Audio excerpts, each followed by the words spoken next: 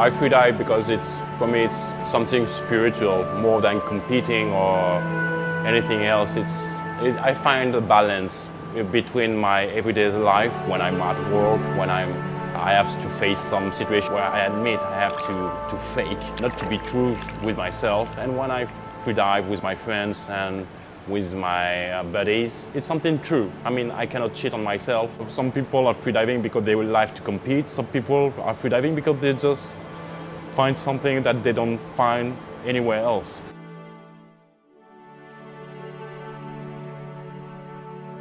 You can knock at my door, I will not answer because I'm not there. That's why it's really meditative. And when I'm freediving, I'm someone else. Always seen like people blowing or vertical rings. I just give it a try and like this. All I can tell is that it's a vortex. The, the air is coming out from your mouth. It just spin in one direction, creating a vortex. At the beginning they were not good. After a couple of weeks they were quite okay.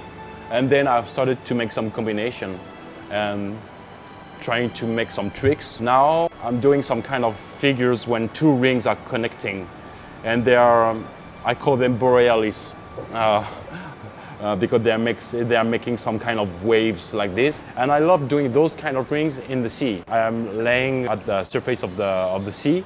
I just blow one ring like this and I can see the, I can see the fishes and they, they are kind of eating the ring. It's another way of interacting with the life underwater. When I'm doing a four minutes dive, which is quite long uh, when you're not doing static and you're blowing rings and they are all perfect. It's something very zen. I, I like the, the, meditation part of freediving.